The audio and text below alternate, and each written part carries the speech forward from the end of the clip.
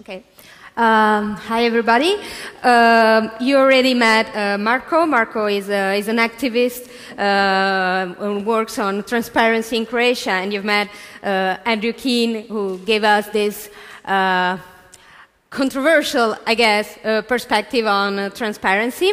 And here's our third speaker, Jan Hemme, is um, uh, the spokesperson for the working group on um, enterprise and environment of the Pirate Party uh, in the Parliament of Berlin, and is one of the advisors to the Federal Executive Board uh, of the Pirate Party in Germany. Uh, so, uh, these people have a different, like, job, different perspective, and um, different take on transparency, on privacy, on how they have to balance in this in society and how the process is changing. So uh, I have like uh, I prepared like few questions uh, to analyze the uh, the topic. So uh, transparency and um, and privacy. Uh, what is the balance and mm, can transparency turn, for example, into uh, into dark, like into not in the in Andrew's sense, but into populism? Can it, how can it be misused in society? Um, Jan, want to start? Well, I'm, I'm glad you mentioned the term populism because what we just heard is populism at its top. It's just like spreading fear, uncertainty, and doubt. And there was only one small section in this speech where we kind of got a glimpse of what Andrew really wants. Uh, and of course, he wants to sell his books. He wants to tour, the uh, speaker circuit and present his theories there. That's, I think that's what you make a living with, and I'm fine with that. Okay.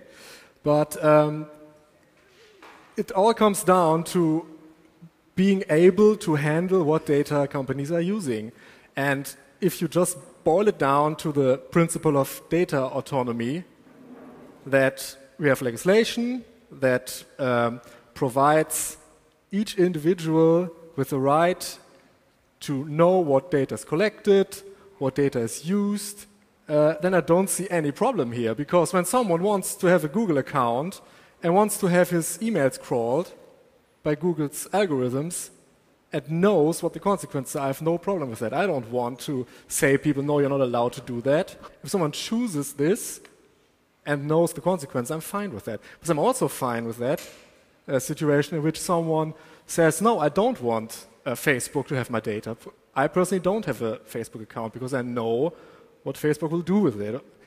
I have a Twitter account, so which kind of doesn't really make sense. I don't have a Facebook account, but we have to st stop somewhere. So it's my choice not to have a Facebook account. I'm not using the service. I don't get the benefits of the service, but that's okay. That's my own choice. And so I don't see why we need new dark places. There are dark places in the internet, Japanese image boards, for example, but I guess there are other problems associated with that. And I don't really think that's where we should go. We should all calm down, think about it. You already talked to Mrs. Reding, which is, I think is great. We should also talk with Mr. Albrecht, who's the rapporteur on this issue. Um, and look at how can we like modify the proposal and see how we can really enable people to do whatever they want with the data and choose what to do when they want to do it. Um, who wants to answer, Andrew? Um, I think you. I think. Have you ever tried to use uh, read one of the terms of service? On, on these social networks? Yes, I have, and there are people that are create performances out of it by reading iTunes uh, terms of service on, on, right. stage. Yeah. So, for example, the LinkedIn terms of service is 6,000 words. You probably need to hire a lawyer in, in order to understand. I haven't read the Facebook one. Um, so I think you are. Um, you, are assuming that people are, are much more knowledgeable about these services and much more literate about terms of service than they actually are. And I think that there's a, there's a deep degree of bamboozlement and confusion. Maybe not so much about us, we're all in the business, so we understand the risks and the implications. But for most people, most people don't understand this stuff. So there is a need for, for more. I mean, I, I think you're not necessarily disagreeing. There's a need for legislation, right? There is a need for legislation, definitely. And there's a need for legislation that people don't really need to read through 6,000 words. Right. So the think, legislation has to be phrased that people can assume that a certain standard is kept by internet companies. But at a certain point, we have to trust them, that they know what they're doing, because otherwise we end up in statism. That's where we lived in the last 50 years. That's not the place where I want to live, where the state decides everything for me.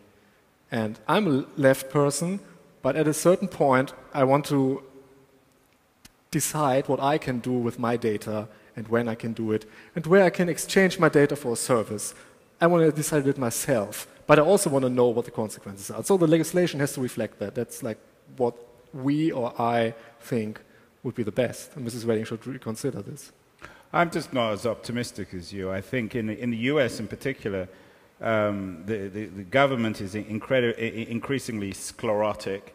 It's miles behind, literally and metaphorically, miles behind technology. It doesn't attract good people. No one takes it seriously. So many of these big data companies are running rings around government.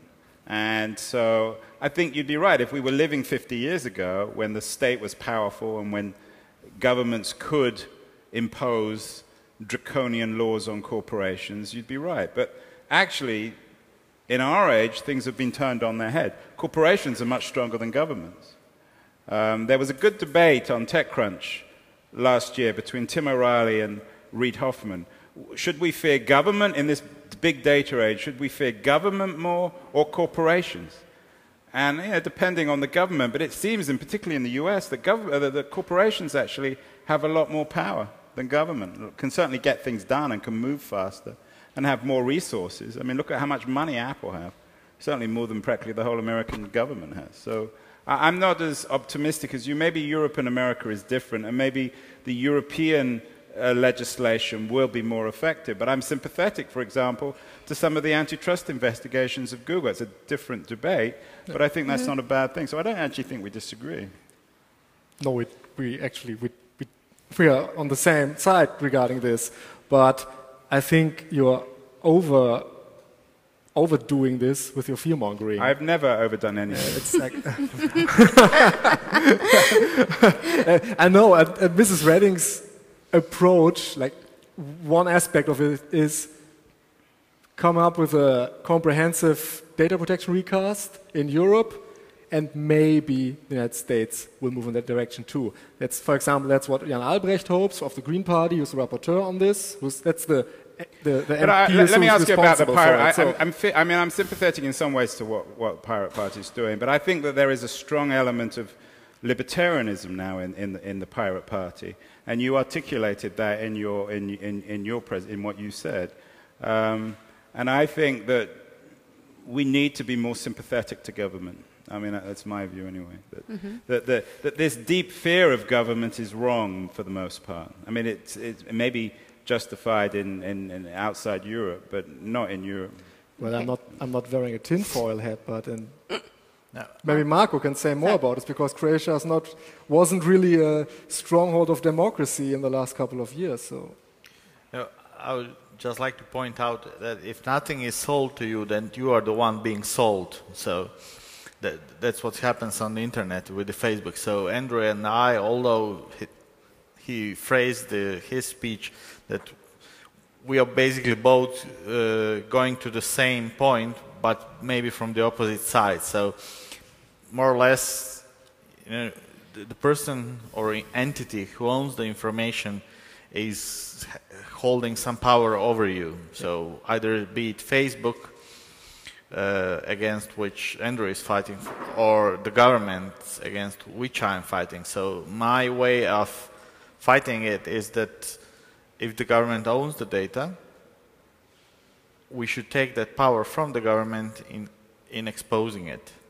Because plenty of people in the government are, base, are, are using that information to hold on their power with it. So we should expose it as fast and as efficient as possible. And of course, I'm all in favor of rule of law. and I'm trying to do whatever I can to improve on that one, either in Croatia or elsewhere. I had an interesting debate in America with someone, a libertarian, about this issue. And we were talking about the right to forgetting, and they were strongly opposed to it. They said that future generations have a right to our data. But I think what's happening in our big data economy is you guys are political activists, right? So you're very much focused on the political, but you have not only the, the confusion of the public and the private in this world, but as you have the disappearance of the private, you also have the disappearance of the apolitical. And that's one of the dangers of the destruction of privacy. So I, think that the, the right to forget is a personal issue, it's not a political issue. Mm.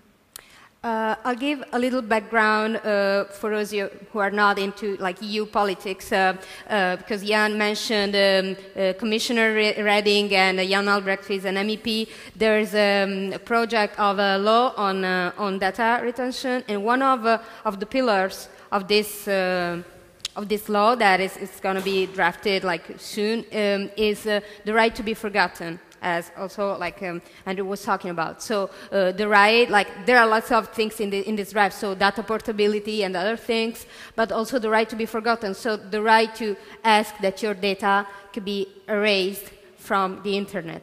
So what's your take, for example, on the right to be forgotten, on the persistence of data, also considering like it's a um, studying and uh, analyzing the, the impact of, uh, of technology uh, and um, writing a lot about privacy and transparency, I got to know that in Germany there's a quite a peculiar attitude, very different from other places in Europe, a very lots of attention towards privacy. So where's the balance there? Like you're in favor of transparency and you explained us uh, why and how, but where is the privacy? Like you, you were one of, of the people who raised the hands when Andrew asked who is not on Facebook. Yeah. Right.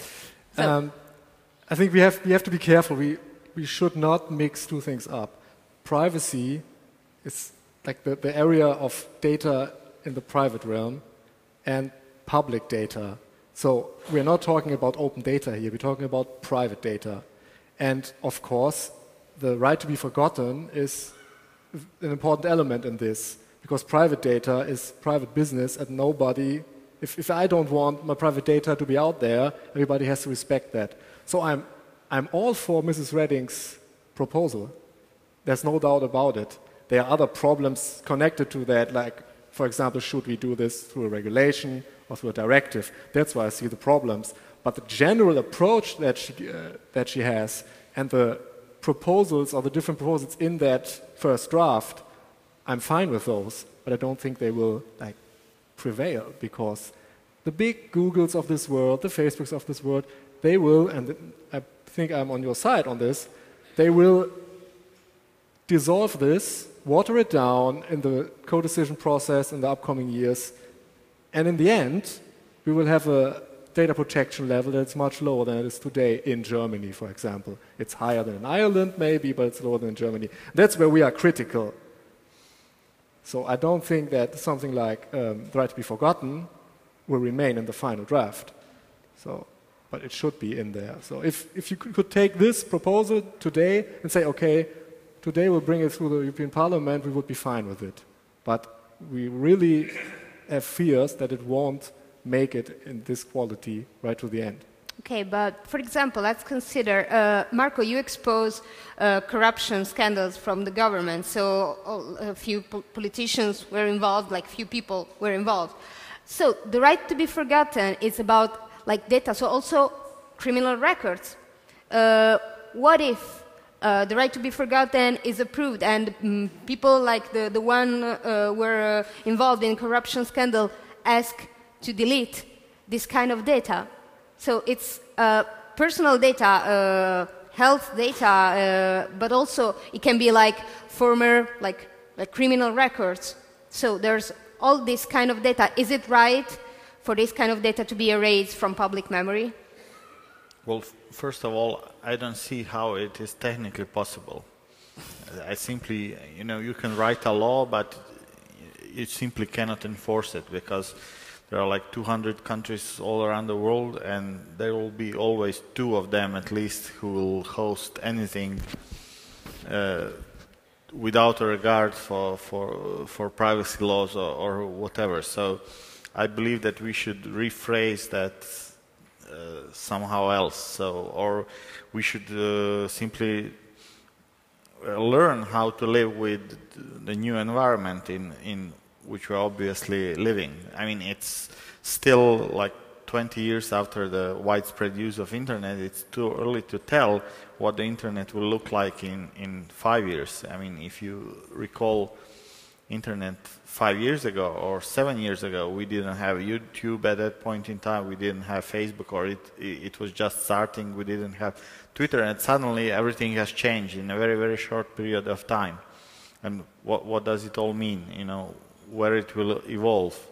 Is there another Facebook already working somewhere and we don't know about it? You know, may, maybe the whole thing will shift to something completely uh, different. And even if you decide to delete something, you know, from my timeline on, on Facebook, if I uh, decide to cancel my Twitter account, you know, the data I have published is uh, republished on plenty of other places. And uh, if I disclose a database, it's again copied and pasted to plenty other, uh, of other places.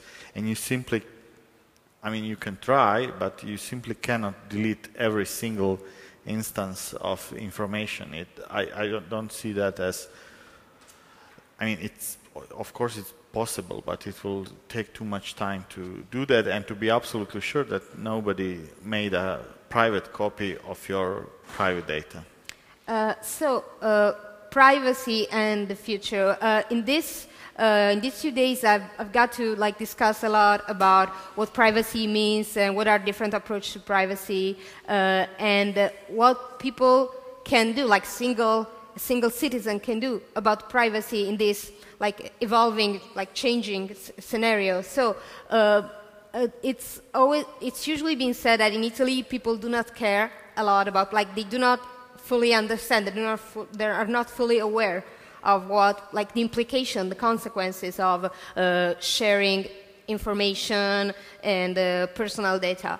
So, what would be your advice on this respect? Like, uh, the world is changing very fast, and sometimes uh, the feeling is that we're not like prepared, we're not aware to, to face it. So, what would be your advice to people to like uh, use the privacy better, care more about the privacy, how they can practically do that. Oh, that's easy. You know, you don't do on any, on internet anything you wouldn't show to your mother.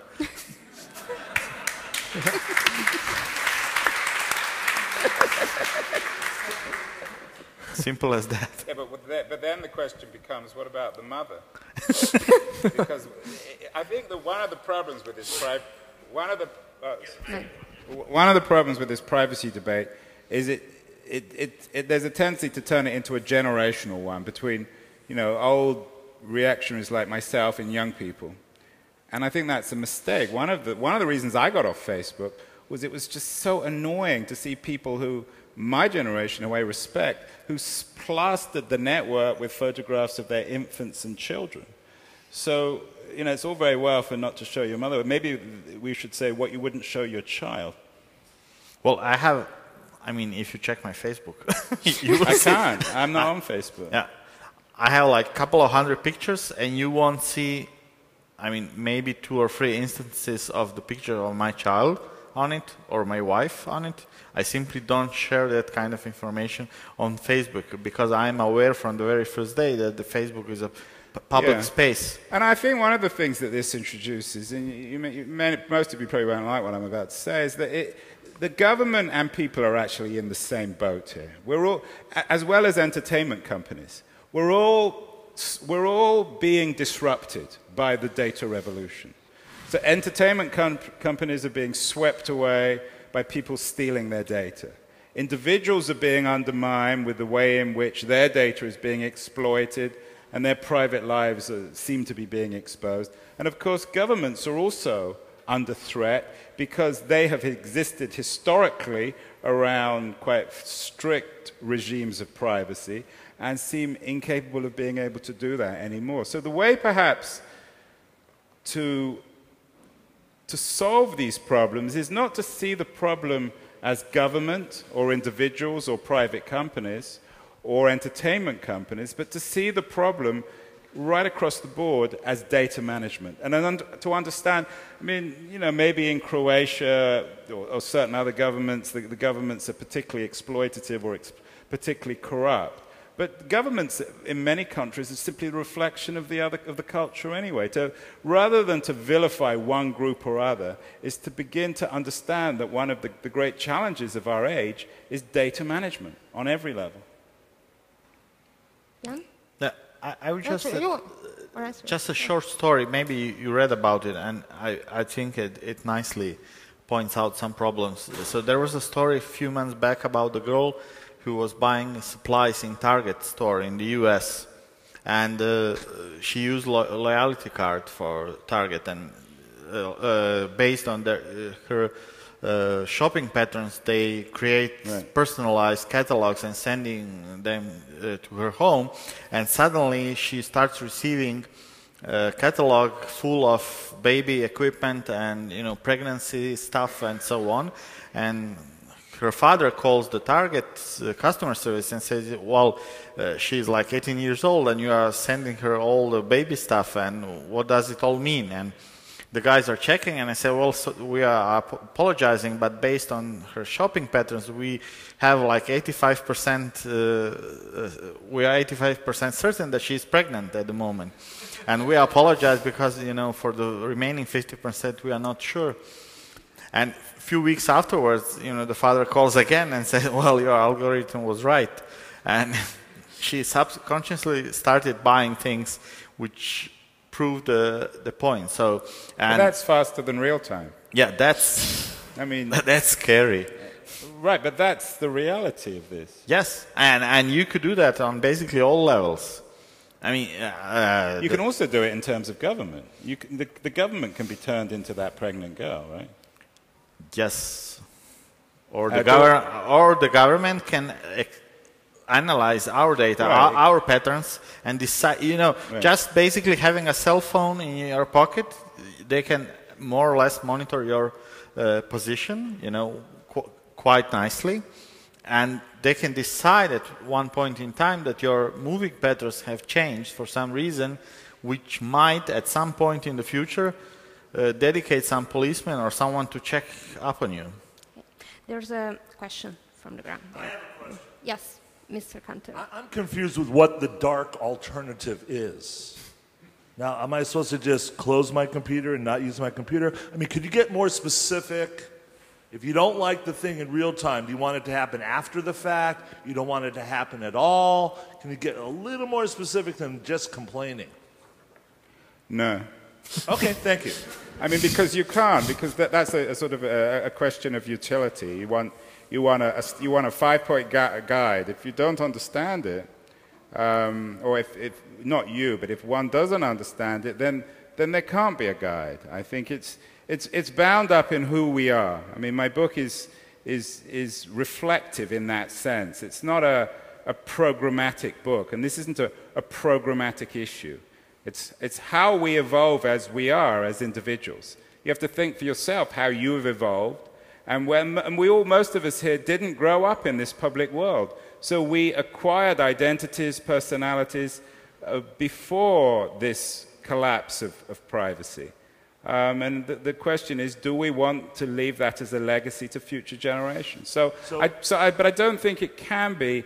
You know, it's not like I mean, I could say, oh well, you have to be. Some people are saying, well, don't be on Facebook on a Saturday, or have a have a, a social networking Shabbat. You can have those things, but I, I'm not sure if that's really the solution. So, would you say that through education and informing people about these patterns, each person could come up with their own solution, right? Well, I'm always wary of people who use education as the solution because education has failed us on lots of levels. And when people bring up education, it means that they don't really have a solution.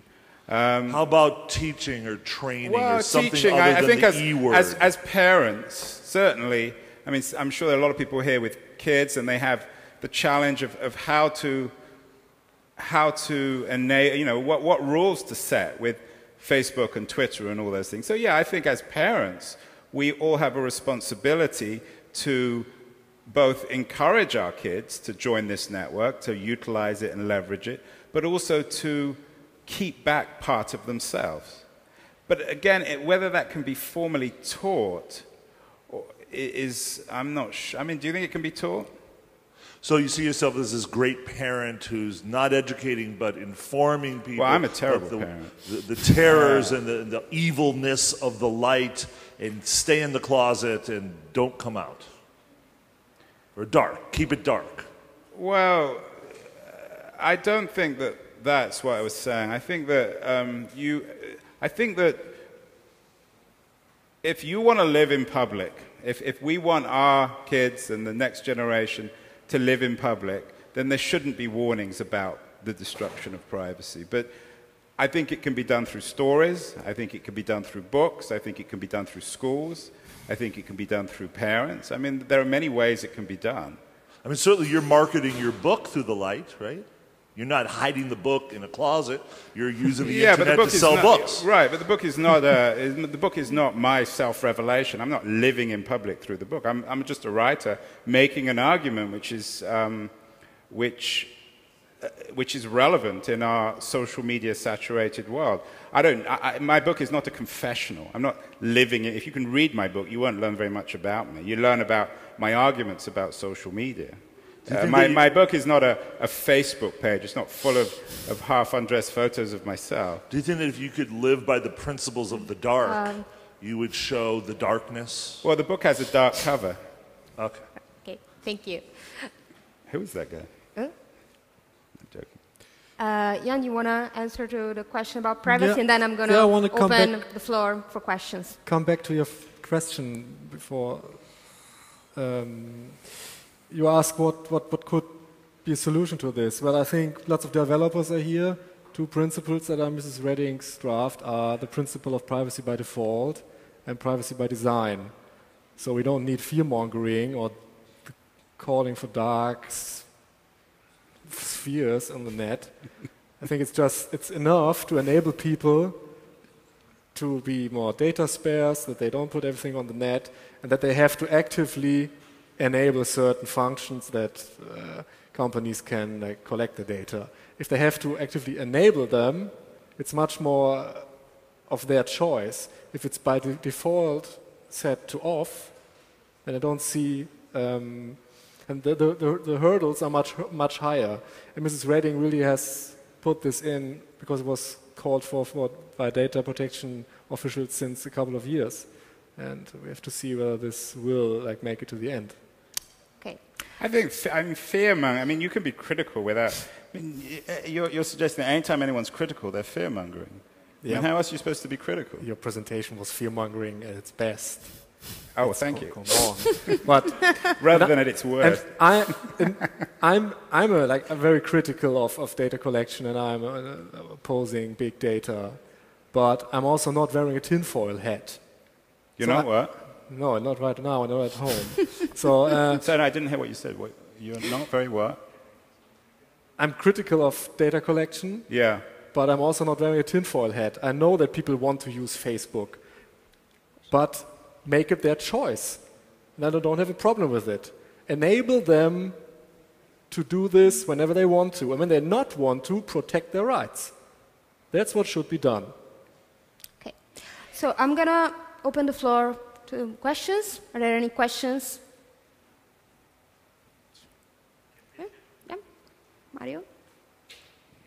I'm not sure whether this is a question, but uh, I think you know the presentation was, of course, fascinating and uh, intended. I think was intended to be provocative, and uh, perhaps more than it should have been, probably because uh, the fact uh, is that the internet is becoming darker somehow, and for the right reasons that our friend here is mentioning, and all this. Uh, uh, do not track movement and legislation being discussed, etc., goes in that direction. And the um, uh, and of course it's debatable whether these or other measures are good or bad, or whether the balance between good and bad is you know where it it fits. But uh, uh it's something that is just happening. Uh, where should we stop, or should we stop at one point? And uh, speaking of the so-called right to be forgotten, there is uh, lots of things in that expression, and it's uh, in uh, one Italian court went to the point a year and a half ago to order a newspaper to erase a perfectly true story from their database uh, because it was, quote, old, uh, unquote. Uh, which, I mean, now uh, the case is being discussed yeah. in uh, higher courts, but, uh, and on the other hand, the Italian Privacy Authority is trying to push um, jurisprudence, shall we say, that try to distinguish between, new, between um, newspapers' uh, databases, archives in the newspapers' websites, as opposed uh, to the same databases being open to the general public in Google. Because the partners, uh, the pattern of, uh, of uh, mm, using information and data are so different in the digital world than the uh, analog world that you know things are being discussed. Some of them are maybe uh, you know, I'm afraid of. I mean, like the court decision, but things are. Yeah, can I? I mean, this darkness thing. I mean, I, my book. I mean, I was only joking. I mean, I, I used the theme of darkness because it was just a way of following on from from Marko. Um, I think you're right. I, I, I understand what the dark net is, and I'm not sympathetic to that. I'm simply, it was just a kind of, it was a metaphor. Sometimes computer programmers don't understand metaphor. Uh, not, of course, that I'm insulting anyone here. Um, but, you know, it's, it's, just a, it, it, it's just a metaphor. It's, it's a way of thinking. I'm not being literal, okay?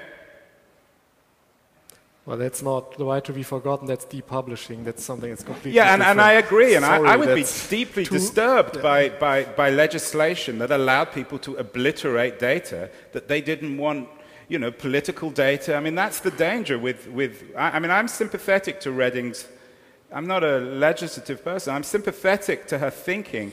But yeah, I fear that in practical terms, it could be really corrupted in a way that will enable companies to, to, to destroy the public record.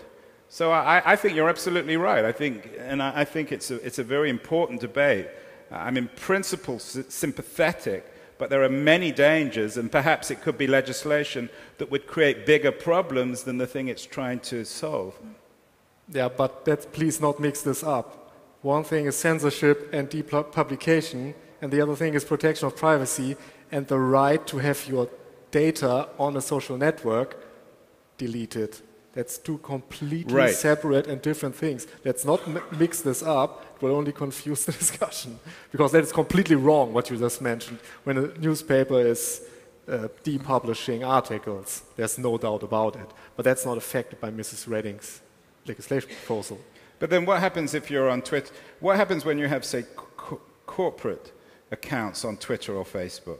And how do you distinguish between, say, a corporate or a political account and a personal account. I mean, as we have this merging of the personal and the public, uh, it, it, becomes increasingly hard and confusing. It's, I mean, I agree with your argument in principle that those are the two divisions, but in practice, it's not always as clear as we'd like it to be, right? Yeah, but you have natural persons, so you can differentiate there. That only natural persons have the right to have the data um, deleted or that the data can be forgotten because personal rights are tied to natural persons, so I don't really see a problem there. One is like a legal person, one is a natural person, so they can you can distinguish. And then it's more like depublication, when a company, for example, is forcing uh, a social network to delete tweets. Mm -hmm. There's another question. Uh, just one quick question that gives us I think, a nice connection to other speeches, and it's about open data. So, how do you, in your experience, uh, in for the past, for the present, and in the future, would you uh, imagine um, that open data issue would involve our lives as citizens in Croatia, which is not yet in the European Union, in Germany and Europe, and in other countries. So this big issue uh, also connected to the right of a citizen of asking the erase of public data as well, as long as it's legal, obviously. Thanks.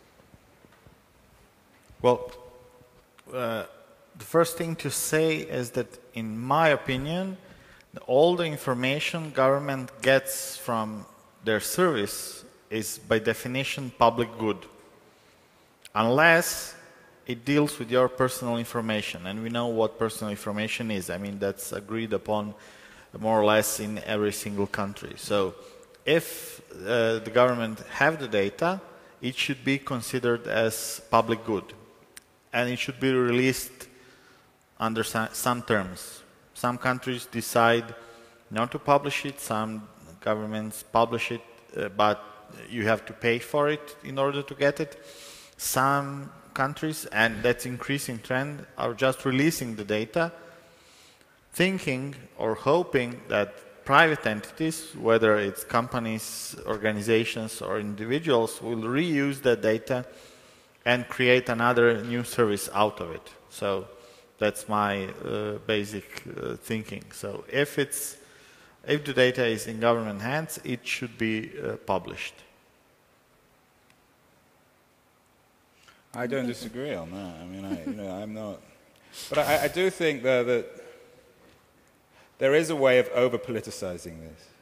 There is a way of turning all data, of, politicized, because you could argue that all data can be politicized, and there is a need to re-establish the difference. It, it, it's a real struggle to, to, to re-establish the, the, primacy of the private um, in, in, a, in a culture where radical transparency has acquired a kind of uh, an orthodoxy. So I, I, think I don't disagree with you about government, but I, I'm concerned about individuals, not government. I'm, I'm, you know, we're, we're arguing really about the same yeah, thing, I think. I, am concerned about the individual, but on the internet, you know, the the uh, the difference in power is a little bit shifted. You know, previously, you know, without the internet, you could rarely get a support or public support to push some idea to, to, till the end and force the government to do something. Well, let me ask you this question. It's the old sort of WikiLeaks question are there areas you think where government should still have the right to secrecy of its data? Or do you think government should be entirely transparent when it comes to data? I didn't really understand. I mean, do you think that do you think that governments have the right to secret services, to spies, to, would, to, to I, data that they simply would never publish to the world? I would say yes. In uh, what areas? Terrorism, drugs, uh, catching criminals, child pornography, stuff like that. So they should uh, have some space for them to pursue that, these kinds of people. All data that is not personal and not security relevant has to be open.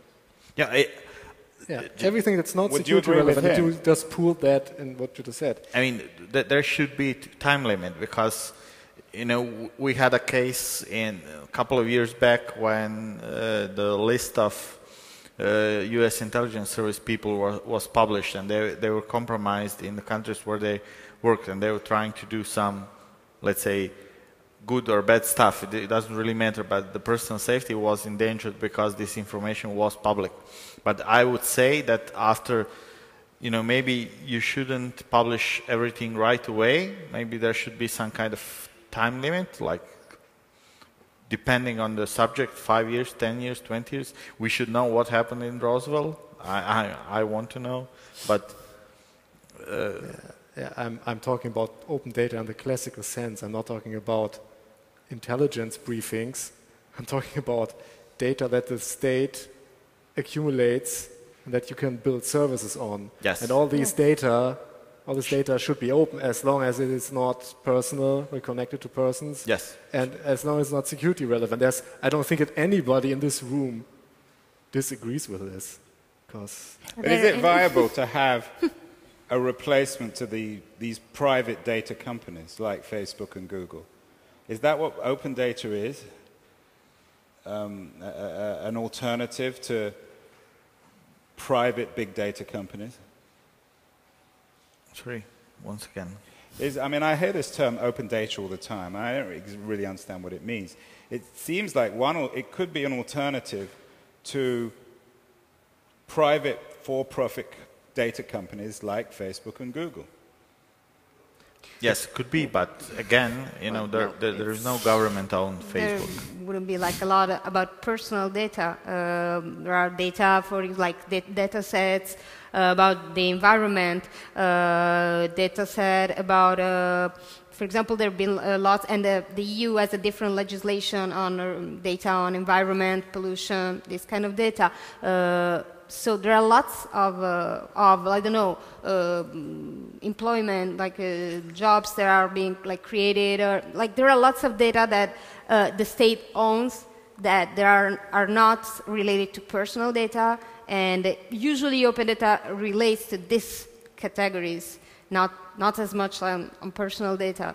So it's releasing data that the government has in a searchable format so that citizens can access and use them uh, to have a better understanding on some issues. Uh, there are, like in Europe, I think there are different kind of um, uh, level of access to documents, for example, because you can request uh, documents in many countries. You don't have, uh, you don't need um, a personal interest, like a specific interest. You can just ask for documents. Uh, but uh, for example, in Italy, uh, you have to prove that you have, uh, it's called, I think, legitimate interest. So it's, it's, it has to be something that affects uh, your life at some point. Yesterday at dinner, we were um, talking about this uh, airport in Berlin that was supposed to open in June, like uh, at the beginning of, uh, of this month. But then, like two weeks before the opening, they said that uh, they wouldn't, they would have been able to do that because they were like late, they have a few problems, and we were talking about a lot of, for example, people that um, invested their money to open shops in the airport, and the airport is not going to be open for at least one year, and they're going to lose the money. So, for example, in that case, uh, this kind of data, they, they, they could be, they, they, they're going to probably sue the company, but what about the data? It has been said that probably the, like the company did know that this, uh, this airport would have been open. So are they like, uh, they are liable for this? And the people cannot prove, like an average citizen cannot prove that if there are no data about like uh, construction and uh, um, like uh, permits to, to build and everything. So that's one case. Yeah, of course, the, the, the, the, the planning documents, they should be open. It's a public project, it's funded by public money. The planning documents should be machine readable, it should be published, that everybody can take a look at this. It's not possible right now.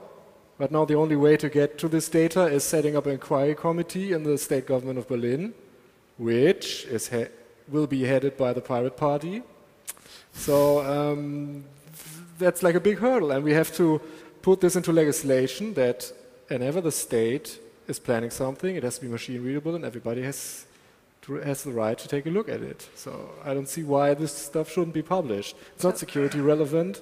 It's not personal. Publish it. It's- Uh, enable people to come out with services on this. Enable civil rights groups to analyze this data, look for weaknesses. so mostly relates to accountability, uh, government accountability. Are there any other questions from the floor? Hmm? Of course. O- Okay, uh, just to recap a little bit, uh, I think maybe can all agree uh, to a few facts. For instance, uh, public data should be public. Can we agree on that? Yes. Should we raise our hands? And, or uh, yes. who, who can, who can? Public, uh, public data should be public. Yes. That- What does that Everybody. mean, public? I mean, Uh, obviously it's public data, Uh, so it is collected by the government. uh. So give me some examples of Yes. that. Uh, for instance, uh, economic data, political data, etc. Mm. Census data, weather Yes. data, Census data, traffic weather data. data, uh, things like that. And but but as, are they are they like the Croatian government? Are they not publishing a lot of publicly? Well, the Croatian government hasn't published a single database yet, so. So I, I wouldn't say they are a good example of Yeah. publishing. but, but but my story, I, I mean, yes, it happened in Croatia, but it's applicable everywhere. You know, you had a, uh, a few months back had a, you had an excellent example that a utility company of New York decided to uh, publish the data of energy consumption of every single building on Manhattan, which means that suddenly you know, when you decide to, to rent an apartment, you can take into account the uh, expected energy consumption you will have to pay to either heat or cool that apartment.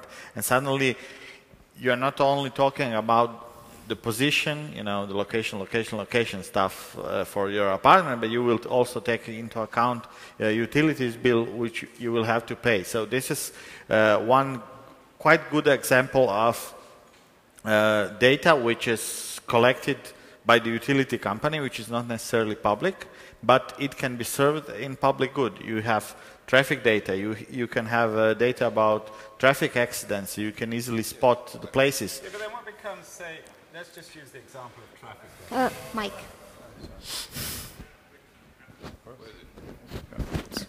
Say traffic data. Um, so you have a government that government that collects, say, traffic data. Now, traffic data would be very valuable to say, and, and there are companies now doing building apps for traffic. Does the government start to trade in that data? Does it charge the app maker to access that data so that they can create apps for the public? How does the business side of it work? Yeah, so, so basically you have two way of doing that. There, there is a good uh, uh, document, you can search it on the web from the guy called Rufus Pollock from Open Knowledge Foundation. It's a br- British uh, document, and uh, basically uh, you, you can charge uh, uh, the source end of the information. So you can charge someone while you are actually collecting the data, and you can charge while you're disseminating the data. So it, it all depends. Again, if the traffic data is collected uh, for normal police purposes of keeping the order and orderly uh, uh, traffic, then uh, this data is already paid for by the government and should be probably disseminated or uh, published for free. I think, given the fiscal crisis of the state, th- th- all this data actually can be a solution. It, can, it would encourage the government to be more entrepreneurial, which I think is a good thing. No, governments have a history of being uh, bad entrepreneurs. Yeah, Not every, maybe in Croatia, but not everywhere else. was British Leyland. Yeah. Sorry, British? British irony. British Leyland. uh, I was joking. No, British Leyland was the British car firm that was destroyed by the British government. Okay. Okay. Uh, Uh, so- maybe uh, the, the, a second point in which uh, everybody could agree is uh, uh, private data should stay. I wouldn't say private. I should say private data should be in the hands uh, of the owner, the, the, the one uh, generating this data, who then can decide what to do about that. Can you agree on that? Absolutely. That's, that's the principle of data autonomy, and that's what we as a pirate party want. That's the ideal that we strive for, that you can decide what to do. But that's the problem. I mean, you're making it sound, you, you say, oh, well, public data should be public. Well, I'm not going to, I mean, no one's going to, who's going to disagree and say, oh, private data should be private. Well, that's just, again, it's just a, a truism. But the truth is, in the way many people are using these networks, that public and private have become so confused.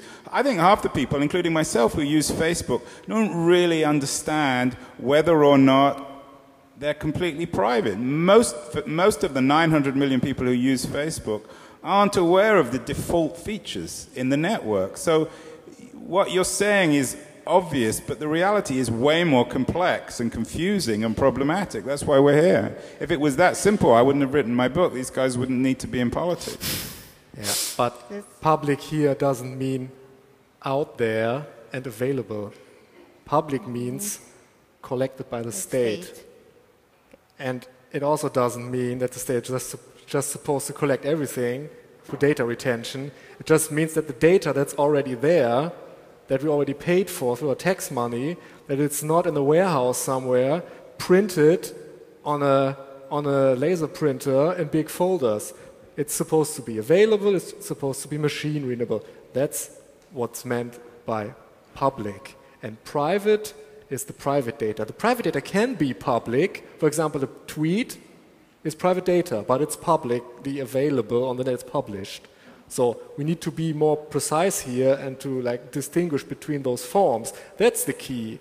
And I think you just think pool everything under public, which actually isn't really public, it's still private. And, and we should also uh, provide for a situation where some information which is considered to be private, for example, a fact I'm a criminal is very private information, and it's a public good to have that private information uh, published. So at some point in time, it might happen that some very, very private information should be made uh, public. Why is that a public good to, to broadcast someone's a cri- someone has a criminal record? Nobody says that. No, no, Of- no, of not, course. not necessarily criminal record. For example, I decide to become a drug dealer or something. So suddenly you want to expose this kind of person. Or somebody is corrupt, that's also very private information. Well, the thing is, is if you're, you, you, there are people who were drug dealers who went to jail, who were no longer drug dealers, and the problem, again, this comes back to this forgetting and this ability to reinvent and forgive, and that's the, the broader problem with this. Is, I mean, obviously, you know, drug dealers don't announce they're drug dealers. You know, they're, they're, they're revealed as one, and they go to jail. But what happens when they're released from jail? I mean, uh, you know, what, what should I mean, maybe even the, the issue of, of, of pedophiles should should that be broadcast? Should you be able to know that up your street is someone who, who had been in jail? What are the implications and the civil liberties of the person who has um, who has been punished?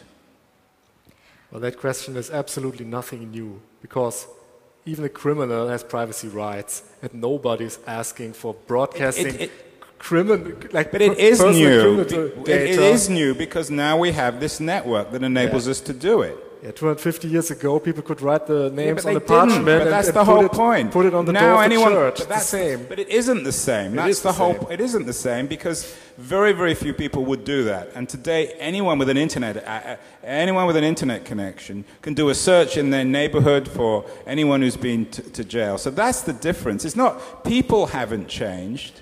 Well, We're no better or worse than we've ever been, but it simply enables that kind of behavior, which historically it'd been much more difficult.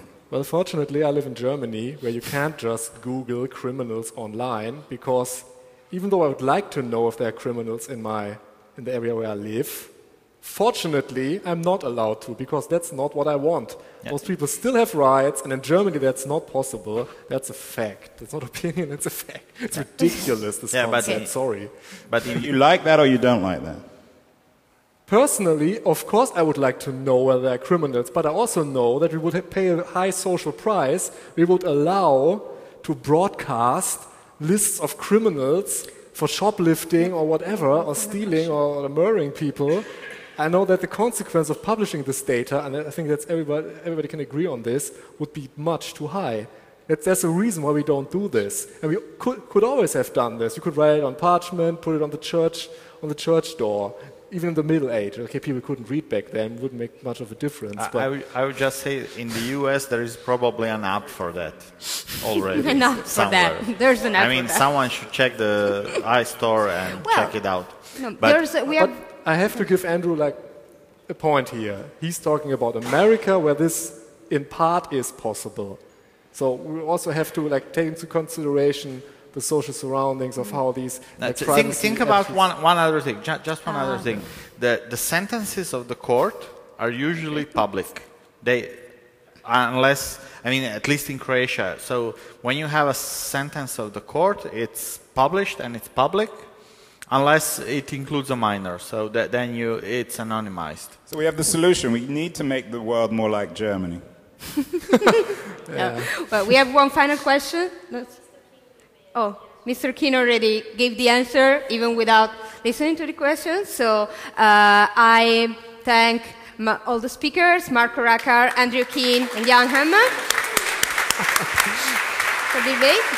Okay.